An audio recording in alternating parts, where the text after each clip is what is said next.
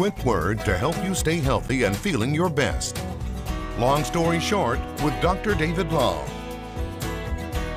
Do you just get tired pretty easily? And yes, I know we all find ourselves exhausted after a long day at work or school, but do you seem to just not have enough energy to do basic things? Well, you might have chronic fatigue. And like most things we talk about in Long Story Short, there's probably a reason, and Dr. David Long has some tips that can help you deal with it. Thanks, Matt. Do you find yourself yawning more than usual or feeling exhausted throughout the day? There are many reasons why someone might be feeling tired, and each one requires a different approach.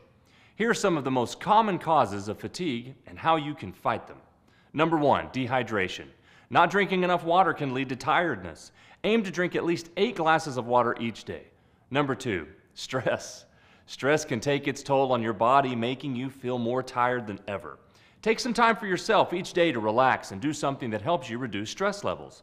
Exercise, practice mindfulness and meditation, or simply take a few moments to breathe deeply. Number three, anemia. This is a condition where your body's red blood cell count is too low, causing fatigue. If you think you might be anemic, talk to your doctor about getting tested. Number four, poor diet. Eating unhealthy food can provide your body with very little energy, making you feel tired and lethargic all day long. Ensure you are eating a balanced diet full of fresh fruits and vegetables and lean proteins to give your body the nutrients it needs for energy production. I'm Dr. David Long. That was the long story short. Thanks, Doc. Remember, you can catch Long Story Short every Thursday right here on KLBK. And if you've missed any of our previous segments, you can find those over on everythinglubbock.com under the health category.